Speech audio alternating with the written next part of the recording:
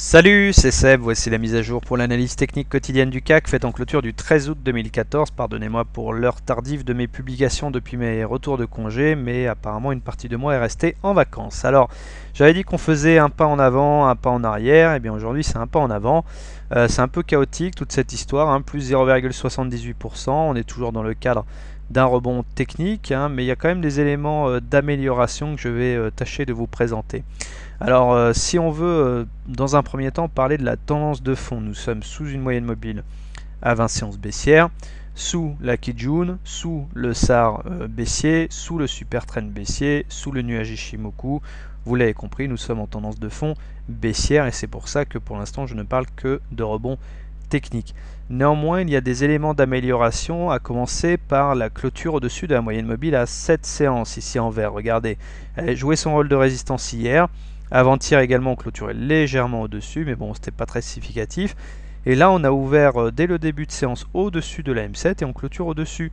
Et euh, ça, c'est intéressant parce que cette moyenne mobile à cette séance, on n'a pas clôturé au-dessus euh, depuis le 29 juillet. Donc c'est assez engageant. Et si vous suivez régulièrement mes analyses techniques, eh bien vous n'êtes pas sans savoir que lorsque l'on clôture au-dessus de la M7, généralement on va chercher la moyenne mobile à 20 séances.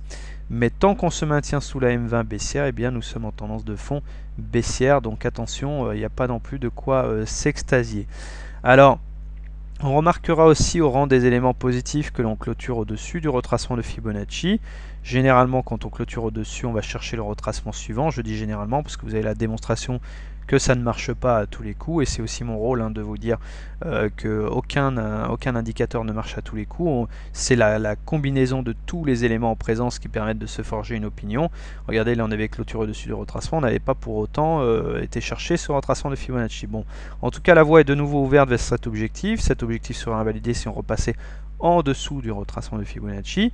Et puis on clôture au-dessus de la Tenkan, ici cette courbe en, en rose en analyse Ishimoku.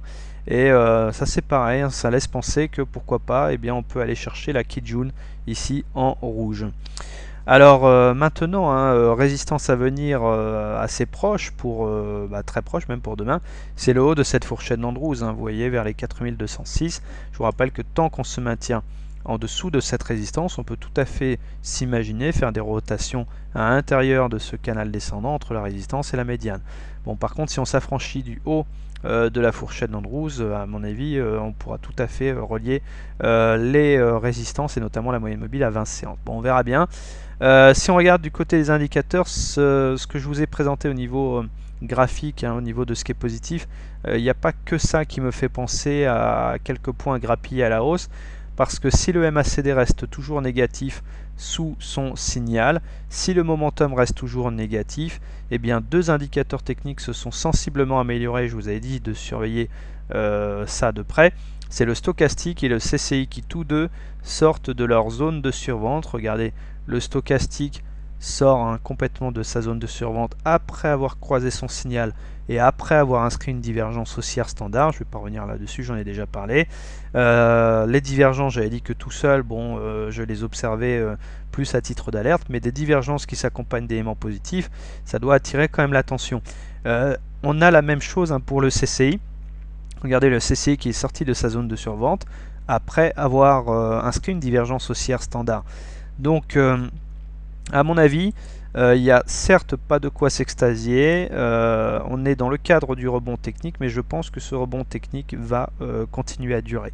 Un petit peu en tout cas, par contre attention, on a clairement des, des, zones de résistance que je vais évoquer dans les repères que je vais vous donner maintenant. Si vous voulez acheter le CAC, soit vous achetez maintenant, en jouant donc le rebond, soit vous attendez les zones support, le retracement de Fibonacci, 4181, euh, qui correspond également quasiment à la M7, 4184. Hein, et puis vous avez la Bollinger inférieure aussi qui correspond avec les plus bas inscrits ici le 8 août, euh, la zone des 4107-4109. Hein, et si vous êtes très patient, vous avez la médiane de la fourchette en rouge 4068. Euh, si vous êtes baissier sur le CAC, eh bien, soit vous shortez les résistances qui ne manquent pas, c'est-à-dire à commencer par celle-ci, donc que j'ai indiqué pour demain euh, le haut de la fourchette en rouge, je sais plus quel niveau je vous ai dit tout à l'heure, j'ai peut-être mal placé mon point, c'est 4100, euh, allez on va dire 4200, on va pas chipoter mais on va arrondir.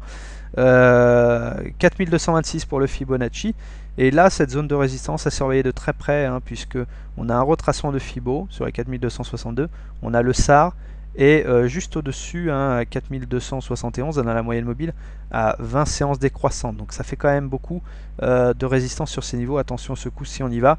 Euh, au-dessus, vous avez les 4298 pour le retracement FIBO. Et là aussi une résistance importante, ce serait le haut du biseau d'élargissement descendant, conjugué hein, avec le super trend, donc sur les 4311.